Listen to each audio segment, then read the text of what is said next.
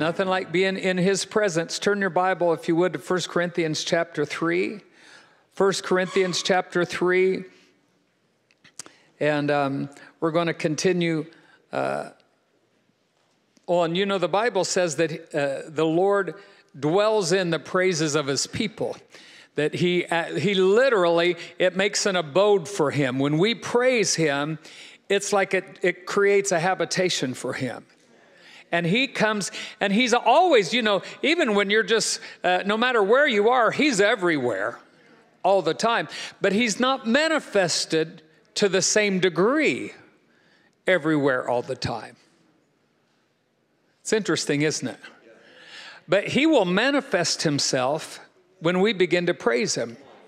You, he, he'll actually come and visit you and dwell in and live in your praises.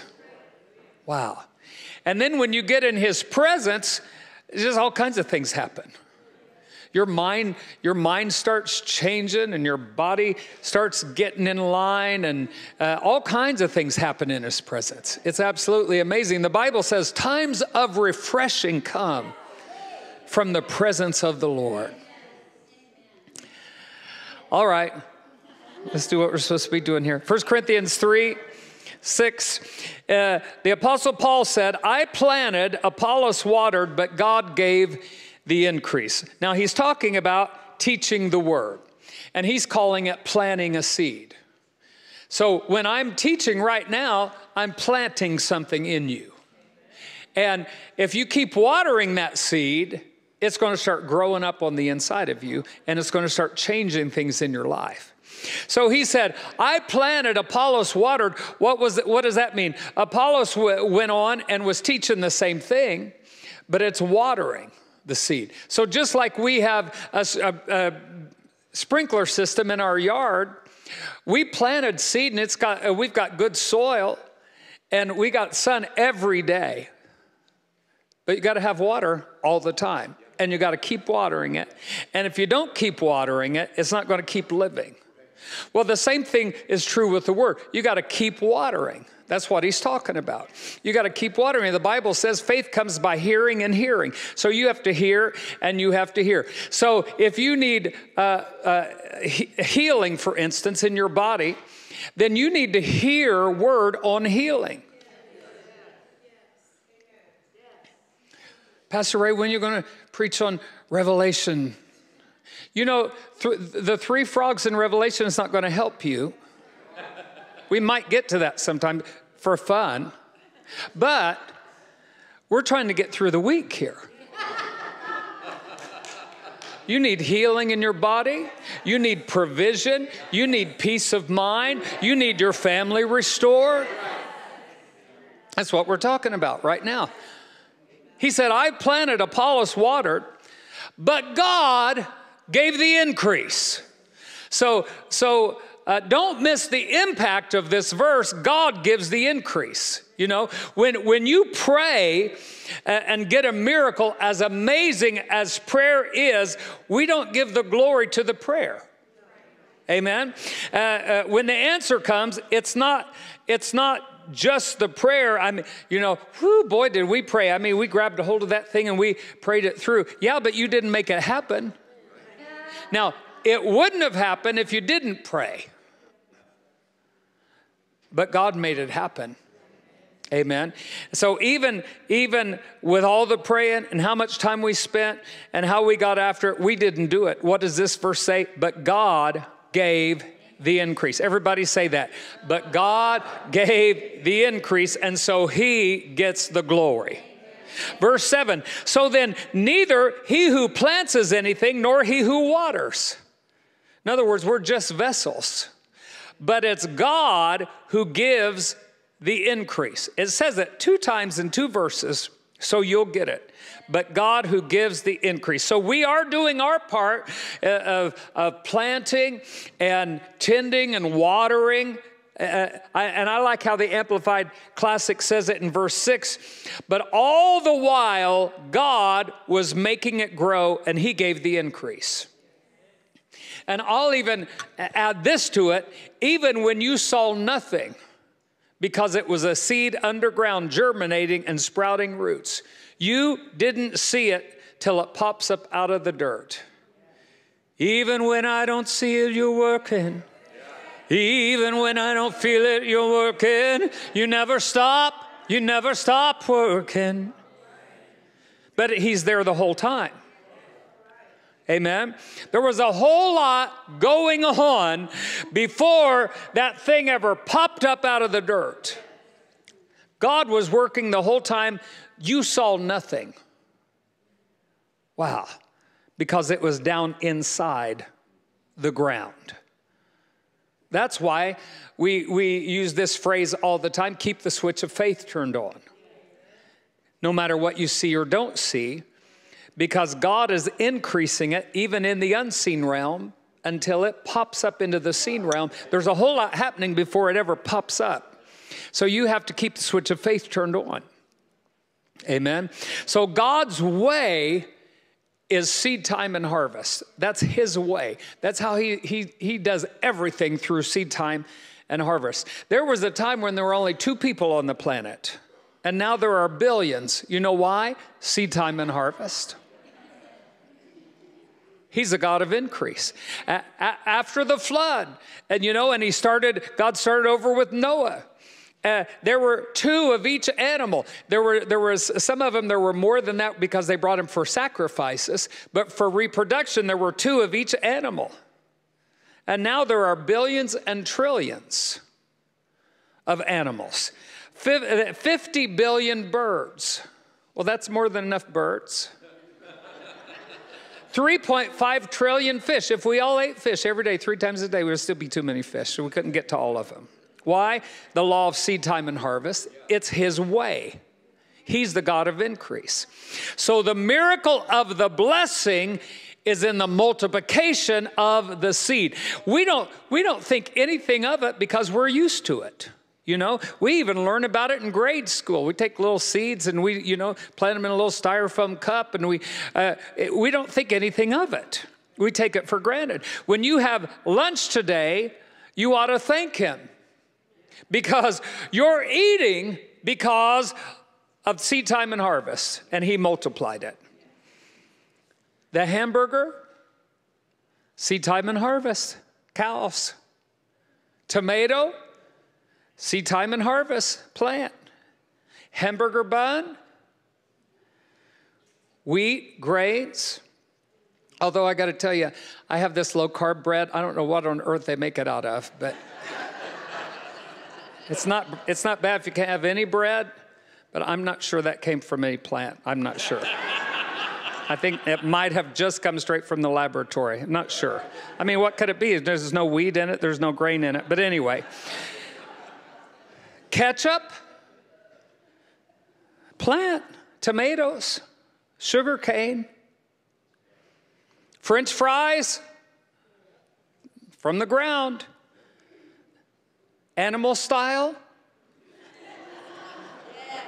It's got tomatoes. I looked up the ingredients tomatoes, relish, that's cucumbers, and sugar. Sugar cane is definitely in it. Mayo, that's soybean oil, eggs, lemon, sugar again. Half an, uh, a vanilla, half chocolate, half vanilla shake. That's the best one they have. Cows, more sugar. In-N-Out should give me a commission because I have planted a seed in your mind. But it's God who gives the increase. Now, Galatians 6, Galatians 6 and verse 7. Do not be, de- be, be deceived. So there's a warning here. Everybody say a warning. Do not be deceived. God is not mocked for whatever a man sows, that he will also reap. Uh, the NLT says you will always harvest what you plant. The, the uh, CEV says you cannot fool God, so don't make a fool of yourself. You will harvest what you plant. Good news says you will reap exactly what you plant. Wow. So we what does that mean? We don't sow tomatoes and reap apples. Any area of your life where you might be deficient, the first place I would look is where I'm sowing. And that's the point of the title and the message today. So it's not just vegetable seeds that this applies to. It's not even just human or animal reproductive seeds that we're talking about. It's everything. Everything is a seed. How you treat people is a seed. How you treat people when you drive is a seed. I said, first service, God help us. We're not going to have room in the altar for all the sinners that are coming to repent. Here, here's a question. When you drive, are you kind? Do you let other people in when they're in the long, wrong lane? Getting quiet in this Lutheran conference. You're not getting in front of me. You had just as long to merge as I did. You saw the sign when I saw it. Seriously, let people in. Quit being so ugly and selfish. You can change, you know. You can change that. I've always been like this. I know you have. That's why God sent you here. You can change. I mean, like that, you can change it. Well, now that's not a seed. The Bible says if you say that's not a seed, you're a God mucker. I didn't say it. As a matter of fact, when he mentions sowing and reaping here, he doesn't even mention trees or vegetables. He mentions exactly what I'm talking about right now how you act. Verse 7 Do not be deceived. God is not mocked, for whatever a man sows, that he will also reap.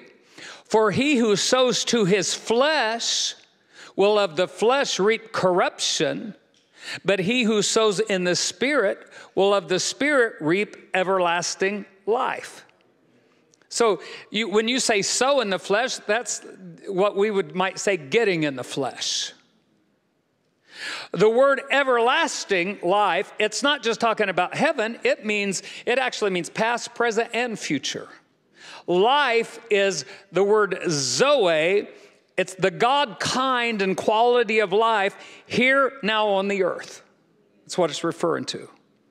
So you sow kindness and generosity, then that's what you're going to reap. Seems like it'd be hard to be kind all the time, you know. When I drive, I should let people in. Well, he knew you'd feel that way. That's why he put the next verse here. Verse 9, and let us not grow weary while doing good. And he's talking about being kind to people.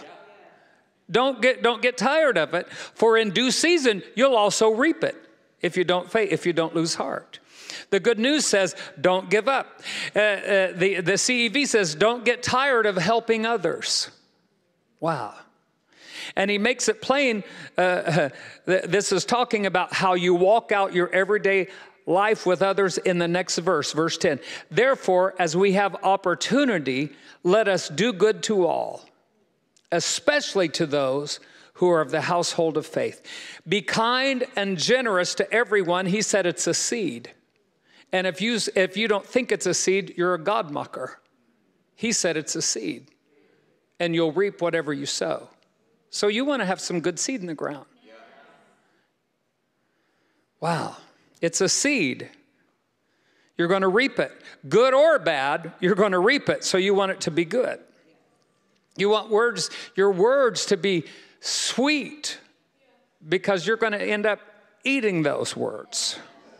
And you don't want to be have ugly ucky words coming back your way. So this is a law that's set in the earth and it works every time. It really is a law. It's just like it, it, just like the law of gravity. The law of gravity is a law. Not one time will you go up on this building and jump off and float down like a feather. You're coming down fast and hard i guarantee it every time why because the law of gravity works every time it's a law now, look at Genesis 8 and verse 22. It's an interesting thought, isn't it, about this seed time and harvest, how it works in every area. Verse 22 of Genesis 8 while the earth remains, as long as there's an earth, that's your whole life. As long as you're alive and on the earth, seed time and harvest, cold and heat, winter and summer, day and night shall not cease. While the earth remains, these things shall not cease. The first one listed, seed time and harvest. And, and we just read in Galatians, that affects everything, even our relationships with other people. So this, this law is established by God on earth as long as the earth exists. You don't have to worry about the ice caps melting. In 2009, Al Gore said at the Copenhagen Climate Conference that most of the ice caps would melt and disappear by 2013. Well, I don't know where Al Gore is today, but I know where the ice caps are because I saw some of them not long ago. I flew over Greenland and I took pictures of them, and they're still there. Summer and winter will not cease. Climate people will tell you, but it's not true. I believe the Bible over any of them. Summer and winter will not cease. Heat and cold will not cease. Day and night will not cease. What else will not cease? Seed time and harvest. Uh, there's always going to be temperature changes. There always has been.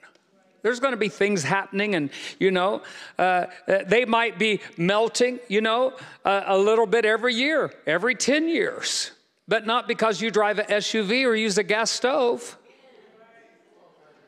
How arrogant and ignorant would you have to be to think that you control the atmosphere of the planet? Everything down here as we know it it's coming to an end. That you can be sure of. Some of it may end before we leave. Don't worry about it. You're not in control of it. But you can rest assured God's got you. You know, uh, Job thought he knew some stuff one time. I don't, I don't want you to turn, I want you just to pay attention. I want you to listen. I'm going to read out of Job 38. Then the Lord answered Job out of the whirlwind. First of all, if God starts talking you out of whirlwind, you should be scared. And he said, Where were you when I laid the foundations of the earth? Declare to me if you have a no understanding. Who determined the measures of the earth, if you know? Or who stretched out the measuring upon it? Upon what were the foundations of it fastened? And who laid its cornerstone? When the morning stars sang together and all the angels shouted for joy? Or who shut up the sea with the doors uh, when it broke forth and issued out of the womb? When I made the clouds the garment of it and thick darkness a swaddling band for it? When I said, This far you may come, but no farther and here your proud waves must stop. Have you commanded the morning? Have you commanded the morning since your days began and caused the dawn to know its place that it might take a hold of the end of the earth? Have you entered the springs of the sea or have you walked in search of the depths? Have you comprehended the breadth of the earth? Tell me if you know all this. Have you entered the treasury of snow? Or have you seen the treasury of the hail? By what, by what way is light diffused, or the east wind scattered over the earth? Who has divided a channel for the overflowing water, or a path for a thunderbolt, to cause it to rain on a land where there is no one, a wilderness in which there is no man to satisfy the desolate waste and cause to spring forth the growth of tender grass? Has the rain a father? Or who has begotten the drops of dew? From whose womb comes the ice?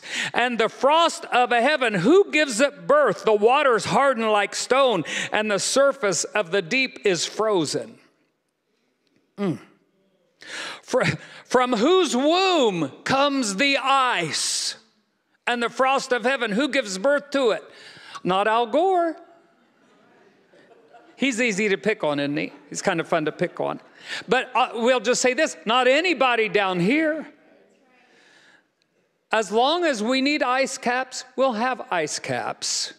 Don't you lose any sleep over at Greta. You have nothing to do with the atmosphere.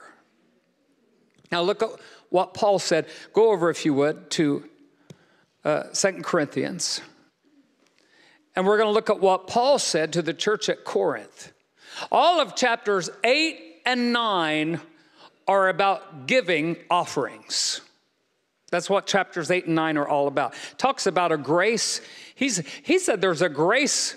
Uh, God is able to make all grace abound toward you, and he tells what it is this gracious work of almsgiving. He calls giving and sowing natural seed or money or giving, he calls it a grace. Well, what is a grace? It's a supernatural enablement or a supernatural empowerment that comes on you to do something. All of chapter 8 and 9 is talking about giving. And it's written during a recession, and Paul is getting their eyes off of their trouble and on God. And he starts talking to them about giving and receiving, sowing and reaping. This is also good, but I'm going to start in verse uh, 6 of Second Corinthians chapter 9. Remember this he who sows sparingly and grudgingly will also reap sparingly and grudgingly. And he who sows generously, that blessing may come to someone, will also reap generously and with blessing. Well, that's pretty easy to understand, isn't it? Talking about giving and receiving. Let each one give. What, what that's saying is you measure out in teaspoons, you're going to reap in teaspoons. You measure out in wheelbarrows, you're going to reap in wheelbarrows. That's what the Bible says. Verse 7 Let each one give as he is made up in his own mind and purposed in his heart, not reluctantly or sorrowfully or under compulsion. Now, uh, let each one give as he's made up or purposed in his own heart. That's talking about giving a seed. Now, that really isn't even talking about tithes. Because we know what the Bible says about a tithe, it's the first tenth portion. The first rule of prosperity separate your money from God's money. The first portion, you're not even given, that was never yours. That, belo- that belongs to the Lord. That first portion. Let each one give as he's made up. This is talking about above that. This is talking about giving something, giving an offering or giving something. As he's purposed in his own heart, not reluctantly, sorrowfully, or under compulsion. In other words, don't let somebody pull on your heartstrings. You know, sometimes people come tell you a sad, you know, sad story, and they're they're really just trying to pull on heartstrings so you'll do something. Well, when we're receiving an offering, even for the Dream Center or for an orphanage or something like that, we just tell you what it is. You want to get involved with it? Great. You know, but don't let someone manipulate you into giving. That's what this is talking about. A lot of people do that, and it's wrong. He says, Let each one give as he's made up in his own mind and purposed in his own heart, not reluctantly or sorrowfully or under compulsion. Why? For God loves, he takes pleasure in, prizes above other things, and is unwilling to abandon or to do without a cheerful, joyous, prompt to do it giver whose heart is in his giving. And God is able to make all grace. And he says, he lists in the Amplified what this grace is every favor and earthly blessing. That's not talking about, you know, warm and fuzzy feelings. Earthly blessing, that means things on the earth. You, you don't have to figure out your own interpretation. God is able to make all grace, what grace? Every favor and earthly blessing.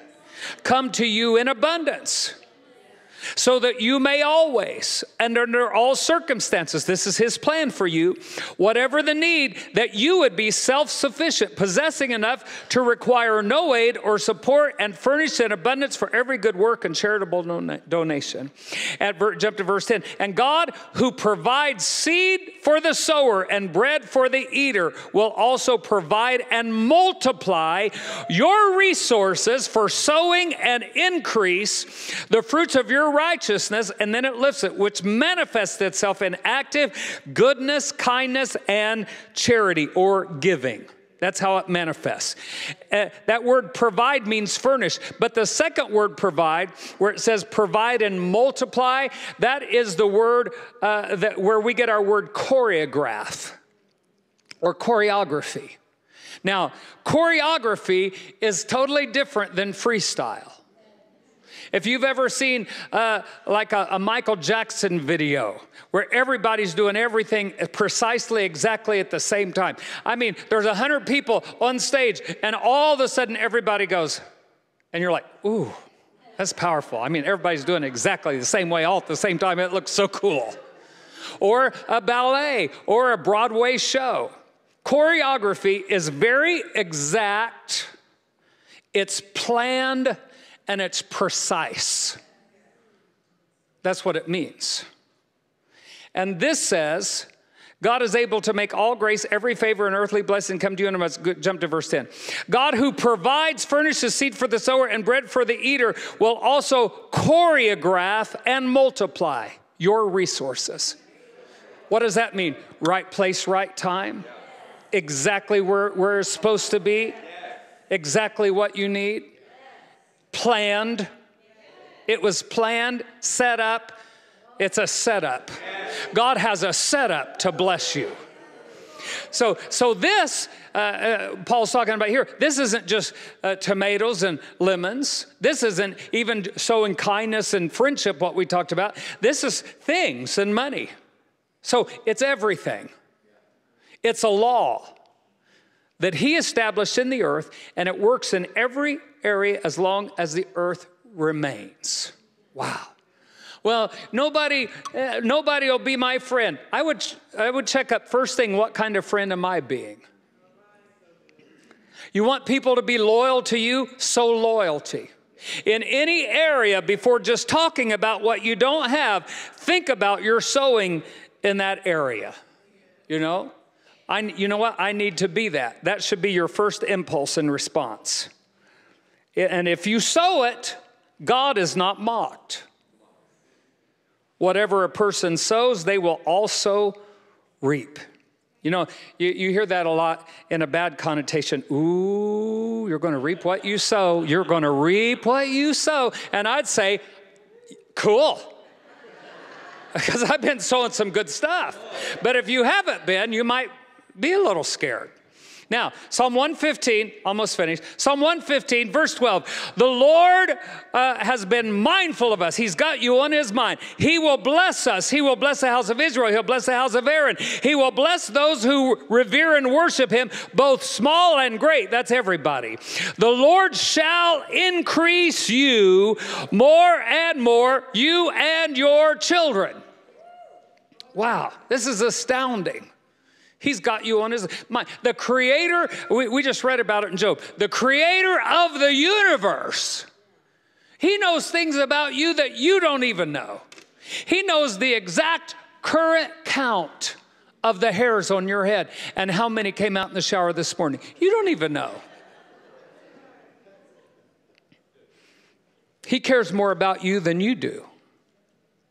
He's got you on, the Lord's been mindful of us. He's, he's got you on his mind. What, what, what's on his mind? He tells us right here blessing. Blessing. His plan is always increase.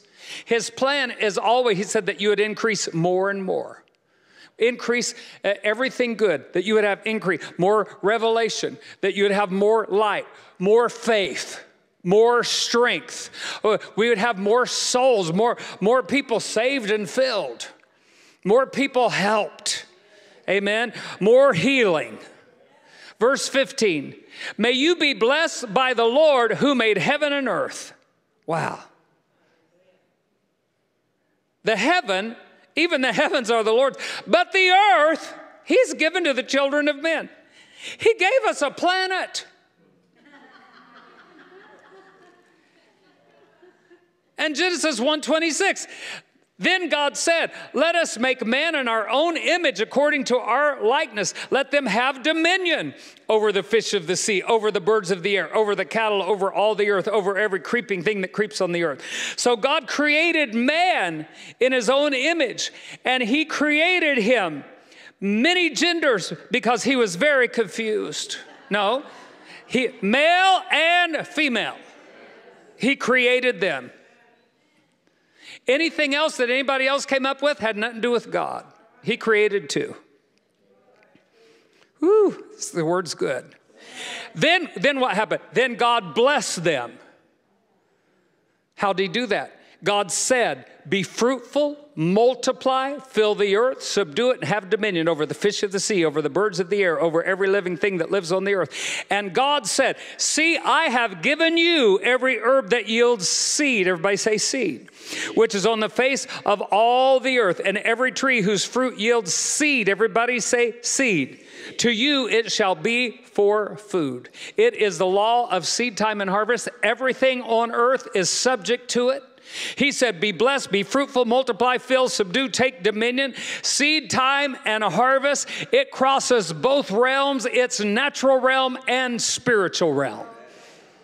Every head bowed, every eye closed. Father, I come to you in the name of Jesus. I pray if there's anyone in here that doesn't know you as their Lord and Savior, they wouldn't walk out these doors without making a decision for you, and I ask you for that in Jesus' name. Just for a moment, while every head's bowed, if you're in here and you've never received Jesus, you've never met the Lord, you've never been uh, born again, those are all terms that we get from the Bible, but this is what they all boil down to. If you can't lay down to sleep at night and know beyond a shadow of a doubt, if you were to die in your sleep tonight, if you don't know, for sure that heaven's your home. You can know that before you walk out these doors. This is not a hope so salvation. We know. The Bible says we know that we've passed from spiritual death to spiritual life. But if you don't know, that's the first invitation. The second invitation is this if uh, maybe you have served God, but you kind of been going your own way, doing your own thing, and you want to rededicate your life or make a, a new commitment to Him today.